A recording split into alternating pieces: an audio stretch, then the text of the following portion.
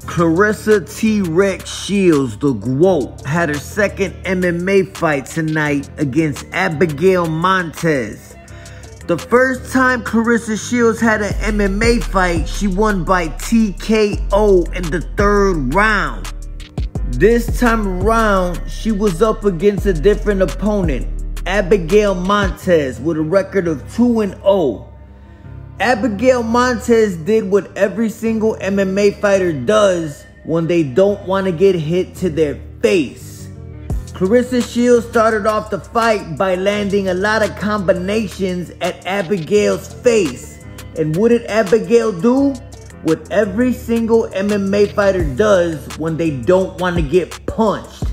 She went for the takedown and basically held Claressa Shields on the ground all night long. Claressa Shields lost this fight, but what really gets to me is all the lames on social media talking shit. Like Jake Paul talking about Claressa is a sore loser. When the first thing she did was congratulate Abigail on Instagram. Go check it out, it's still there. At least Claressa's fighting MMA fighters in MMA.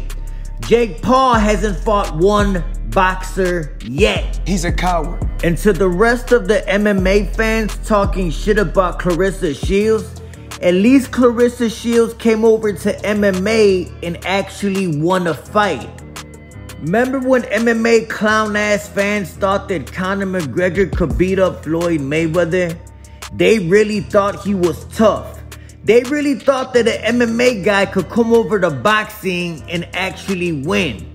Floyd Mayweather was 40 years old and he beat the shit out of the MMA clown. It just goes to show that even at 40 years old, any boxer could whoop a MMA fighter in the ring. Claressa Shields went over to MMA and won a fight, which is more than y'all can say for y'all lame ass, punk ass, soft ass fighter. McGregor is a bitch, and his fans are bitches. I know that. Claressa T-Rex Shields went over to MMA and at least won a fight, unlike Conor McGregor, the lame-ass MMA clown.